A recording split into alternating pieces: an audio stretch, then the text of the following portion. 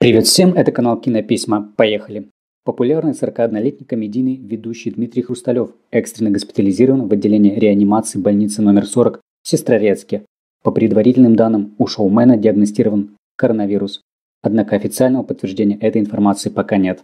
Ряд СМИ утверждают, что ведущий находится в тяжелом состоянии.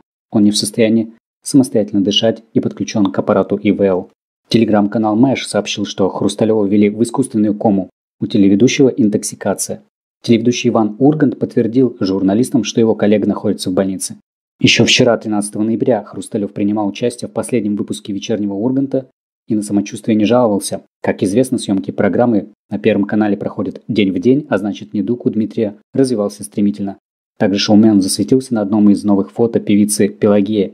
Как отмечают журналисты, артисты могли видеться на мероприятии, посвященном Международному дню КВН который ежегодно отмечается 8 ноября.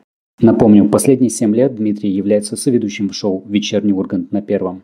Также ранее, 11 ноября, был госпитализирован в больницу с коронавирусом 42-летний шоумен Сергей Светлаков. Бывший КВНщик вышел на связь с поклонниками и сообщил, что врачи обнаружили у него небольшое поражение легких. Пожелаем Дмитрию Хрусталеву скорейшего выздоровления. Чтобы быть в курсе новостей, подписывайтесь на канал, нажимайте на колокольчик.